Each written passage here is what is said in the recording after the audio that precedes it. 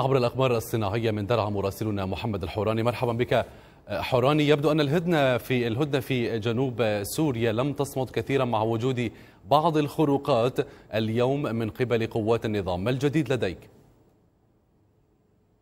آه، نعم أحمد أهلا بك. آه، كما ذكرت آه، أن الهدنة لم تصمد كثيرا في جنوب البلاد في جنوب سوريا بالتحديد محافظة درعا والقنيطرة وريف السويداء. اليوم تخلل المناطق الجنوبية ولا سيما ريف درعا الشرقي سقوط بعض القذائف المدفعية من قبل قوات النظام المتمركزة في ملعب البانوراما وأيضا منطقة خربة غزالة.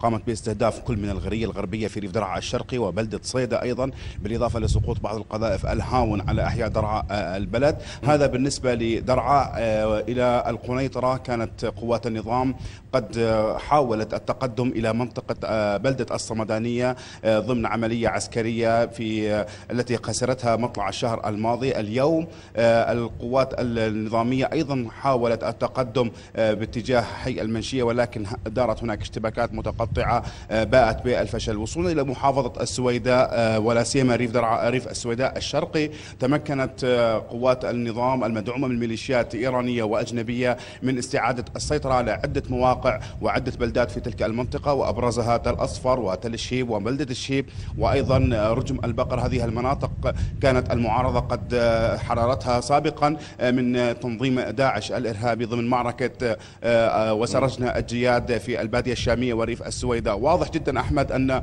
النظام لم يلتزم في الهدنة الروسية الأمريكية في جنوب البلاد. هناك سقوط قذائف هناك عدد من الجرحى في بلدة صيدا تم إسعافهم إلى نقاط قريبة.